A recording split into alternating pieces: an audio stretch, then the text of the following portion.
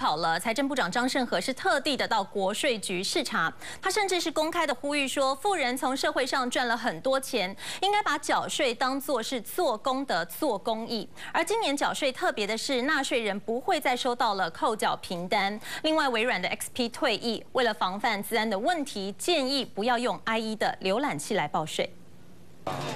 学生啊，谢谢啊，谢谢你们。五月报税季开跑，财政部长张盛和一早就到国税局视察，直呼景气乐观，税收稳达标，更呼吁富人慷慨解囊，把纳税当作做功德，这就是公益嘛。你纳税以后，就让全国人民的受益，它就是公益。事实上。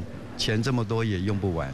小姐今年说是没有扣缴凭单，那个要凭身份证办，是不是？婆婆妈妈拿出身份证到国税局查资料，报税无纸化正式启动，纳税人不再收到扣缴凭证，除了带身份证正本临柜查询，再加网络申报，还是最经济实惠。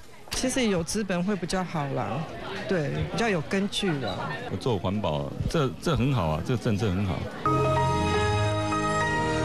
大不同，今年微软 XP 退役，不再提供更新维护。微软 IE 浏览器恐怕存在治安问题，财政部建议纳税人少用为妙。